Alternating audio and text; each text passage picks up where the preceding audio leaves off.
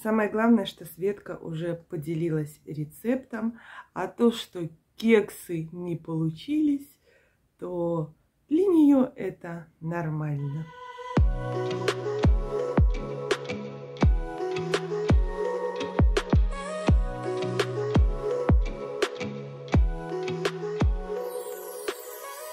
Всем огромный-преогромный привет! Рада видеть вас на своем канале. Надеюсь, вы тоже рады меня видеть.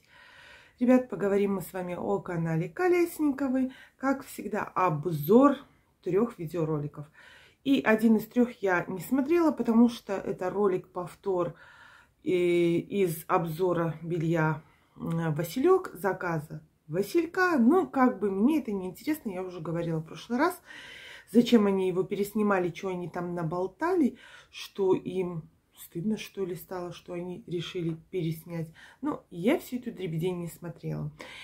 И со второго уже, или с первого, это был обзор второй, Светка у нас снова показывает, что она занимается вкусняхами, она орудует на кухне и готовит якобы так называемые кексы.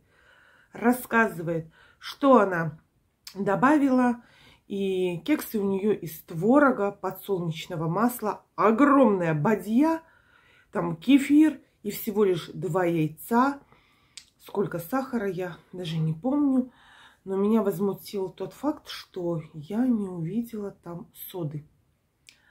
Ну, она, вероятно, думала, что они поднимутся и будут пышными. Сколько там она той муки добавила, рецепт я вообще не смотрела.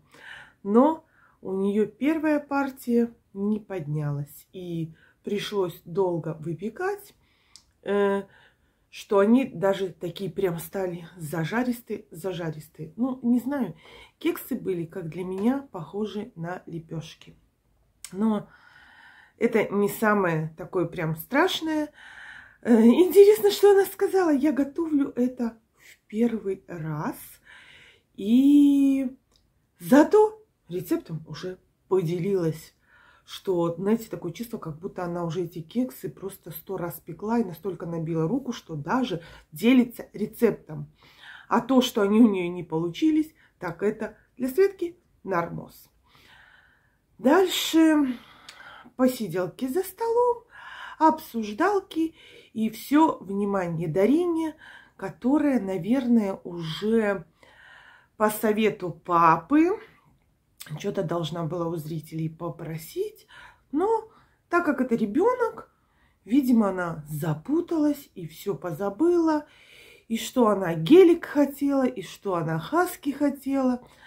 Но почему-то все это обернулось в какие-то двухъярусные кровати. Все сидели, смотрели на нее и ожидали, что она что-то, видимо, попросит. Но ребенок почему-то не открыл тайну, как я поняла. Ну, как всегда, названия какие-то бестолковые с переездом. И, ну, с переездом в Ессентуки. И я как-то подумала, думаю, блин, опять куда-то они переезжают. Уже как напишут название, так напишут. Хоть стой, хоть падай. Ну, это и есть Колесникова, и что тут, блин, говорить. Дальше у нас идет видеоролик, э, как Светка у нас зашивает очередной рюкзак и рассказывает, что в этом рюкзаке столько-столько тащил сын э, продуктов, там и мука, и тушенка, там и еще, короче, что-то. Интересно, откуда столько всего тащил? Закупка какая-то у них интересная. И главное, нам эту закупку не показывали. А потому что это то ли закупка, то ли просто выброшенная просрочка. Поэтому нам и не показали. Если бы покупали и за такие приличные деньги, нам бы обязательно все показали.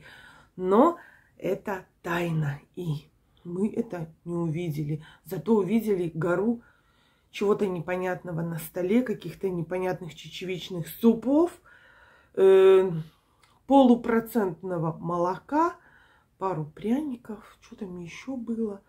Ну, может быть, еще даже эти котлеты, которые дети не ели и которых для пробы сначала пожарили пять штук, чтобы проверить, не случится ли понос. Может, для этого было пожарено всего 5 штук. Именно для старших детей. Короче, ну это как-то, знаете, как-то шутка, но в каждой шутке есть доля правды. И многие зрители пишут, Света, уже хватит шить этот рюкзак. Каждый день шьешь, шьешь, шьешь, шьешь, а толку нет. Не проще ли купить какой-то нормальный, прочный рюкзак ребенку? Ну, я согласна с этим. Но, видите, там, видимо, за все это дело отвечает папа. И видно, как всегда, строгая экономия, подсчет денег и лишних на рюкзак точно нету. Дальше опять у нас Дарина помогает маме стирать. И мама так любит снимать, как Дарина у нее работает. Ну, вообще это неплохо. Показывать ребенку, что как и делать. Точно так же, как она ей там помогала э, накладывать кексы. Пусть там у нее неудачно получалось, некрасиво. Но я считаю, что это, ну, как бы нормально. Но, знаете, в другом смысле все время кажется, что Света – только и делает, что носится с камерой. Ну, а сама, ну, просто ничего не делает. Ну, дальше нам уже показали мастер-класс, как сложить белье в шкаф.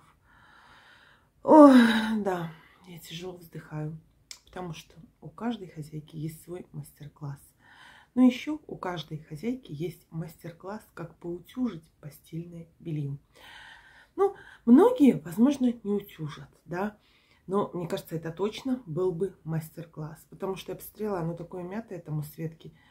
И не складывала она его прям так, знаете, ровненько, что если бывает, вот у меня обычно свекровь бывает как сложит, что я потом становлюсь утюжить, думаю, а что здесь утюжить?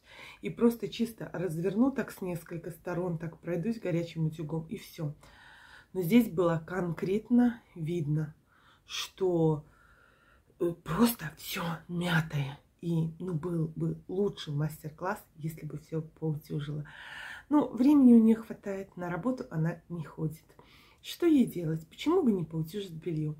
Кстати, когда она делала, стряпала э, кексы, она что-то заикнулась за муку, что вот я ее не сею на пельмени, допустим.